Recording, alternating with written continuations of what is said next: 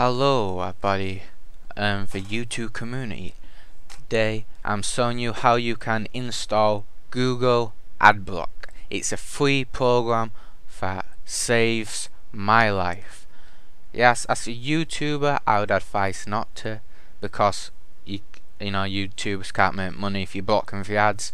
But as a computer user I love Adblock for the main reason it increases the speed of your browsing. And that's key. Alright I'm just gonna show you wh what adblock is. So I just paused my ad block and I'm gonna go on it's a website here. Now when I go on the website it's running a bit slow but yeah as you can see the website is running slow because of all the ads. I got World of Tanks I got his videos. The process for computer uses is going up because there's more ads. Now I put on adblock, unpause.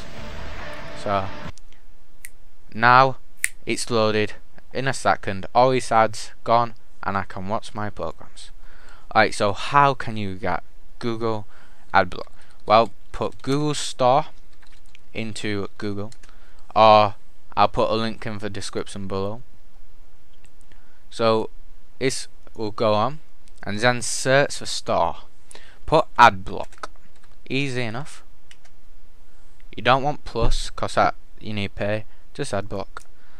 Wait so add there'll be a thing button here saying add to Chrome.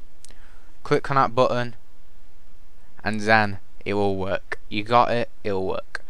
If there's a reason why your ad block ain't working and I don't know why this reason might be but I can fix it.